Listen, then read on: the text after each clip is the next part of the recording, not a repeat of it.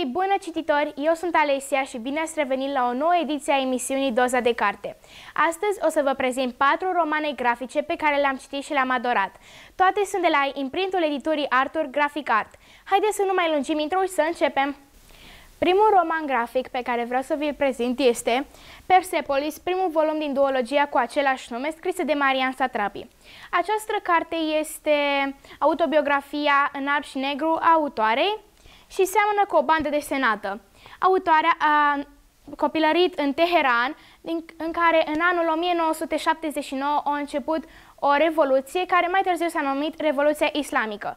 Aceasta a decis să își scrie toate amintirile din familie, de acasă, de la școală sau din oraș și când a ajuns în Franța, a decis să-și publice jurnalul ca un roman grafic. În prima parte vorbește despre copilăria ei, iar în a doua vorbește despre zilele în care a devenit adult. Vreau să vă citesc două pagini, deoarece, cum vedeți, sunt foarte puține cuvinte pe o pagină și să vedeți cum erau zilele în perioada din 1979. Vălul. Asta sunt eu când aveam 10 ani, adică în 1980, iar asta e o poză cu clasa mea. Eu sunt la stânga de tot, așa că nu mă văd. De la stânga la dreapta, Golnaz, Mașit, Narin, Mimna. În 1979 a avut loc o revoluție care mai târziu a fost numită Revoluția Islamică. A venit și 1980, de atunci am fost obligate să purtăm văl la școală. Nu prea ne plăcea să umblăm cu văl, mai ales că nu înțelegeam de ce. Și pentru că, înainte cu un an, eram într-o școală franceză laică, unde învățau și băieți și fete, apoi, deodată, în 1980, toate școlile bilingve trebuie închise. Sunt simbolul capitalismului mondial al decadenței. Asta se numește revoluție culturală. Ne-am trezit cu vălul pe cap, despărțiți de colegii noștri și cu asta, basta. Eu recomand această carte copiilor de 11-12 ani, deoarece este o poveste foarte frumoasă și chiar vă recomand. A doua carte este Integrala Mouse, povestea unui supraviețuitor scris de R. Spiegelman. Această carte am citit-o la 11 ani, dar vă spun este un, un subiect mai greu de înțeles, deoarece este autobiografia autorului și a tatălui său, Vadek Spiegelman, care a trăit în perioada celui de-al doilea război mondial.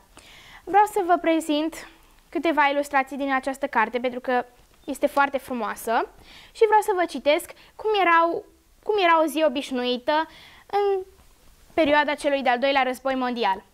Am plecat imediat.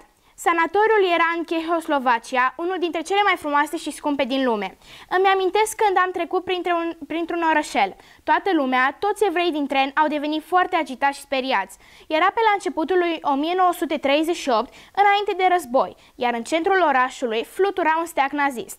A fost prima oară când am văzut cu ochii mei Savastica.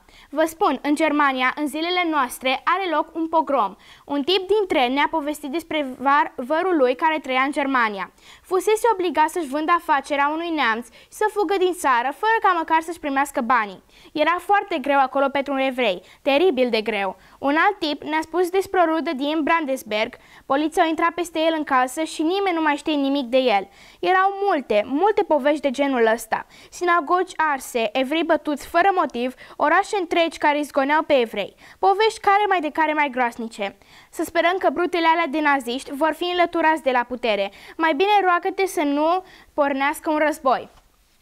Eu vă recomand cartea mai mult copiilor pentru de vârsta de 13 sau 14 ani în, în sus, deoarece, cum v-am zis, este un uh, subiect mai greu de înțeles. Și ce îmi place cel mai mult este că evreii sunt considerați niște șoricei, iar nemții sunt considerați niște pisicuțe, deoarece toți știți dușmănia dintre șoareci și pisici și chiar mi s-a părut o idee originală. Vă recomand! Următoarele două cărți pe care le-am pregătit în această ediție sunt pentru copii ceva mai mici. Este vorba de Fantoma Aniei, scrisă de Vera Broscol, care, cum zice autorul Neil Gaiman, un autor foarte cunoscut, este o capodoperă. Este vorba despre Ania care într-o zi cade într-o groapă și se întâlnește cu o fantomă. Fantoma începe să o urmărească peste tot, Fata crede că este un avantaj deoarece fantomița o ajută la treburile casnice, o ajută să copieze la teste, dar află că fantoma a mințit-o. Vreau să vă arăt și câteva ilustrații și să vă citesc reacția Anei după ce află că a fost mințită.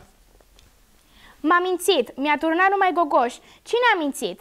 Mulțimea furioasă, toate mizerile alea despre dragoste și comunitate. Despre ce vorbești? Gata, trebuie să dispară într-un fel sau altul. Cine? Mersi mult pentru ajutor, Dima. Ne vedem mâine la școală. Unde mergi? Tocmai mi-am dat seama că am uitat ceva important acasă. Haide, haide! Și cum vedeți, are niște ilustrații foarte frumoase, iar după ce fantomița află că a fost descoperită, începe să devină din ce în ce mai rea și să-i tortureze familia Aniei. Într-un final, fata reușește să scape de fantomiță și chiar vă recomand, eu am, citit, eu am citit-o într-o zi și este foarte frumoasă. O recomand copiilor de 11-12 ani și cu siguranță o să vă placă și vouă. Ultima carte pe care mi-am propus să vă arăt este Zâmbește, scrisă de Raina Tailgamer.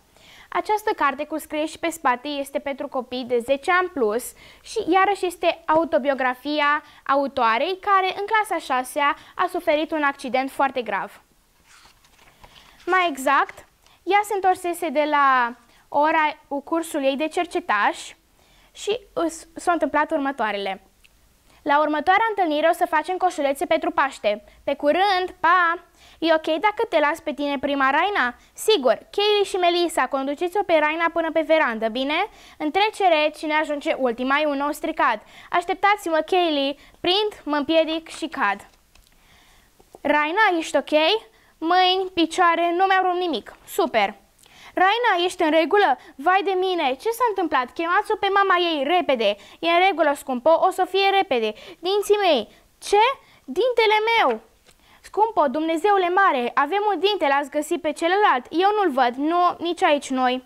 Tati, ce se întâmplă? Sora voastră a avut un accident. Duceți-vă înapoi la culcare, bine? Mie mi-a plăcut foarte mult cartea, nu numai pentru povestea amuzantă pe care o arată, dar și pentru că acest roman grafic nu are ilustrații alb-negru și are ilustrații colorate, care face lecturarea ei una mult mai frumoasă și distractivă. Vă recomand și cu siguranță o să vă placă.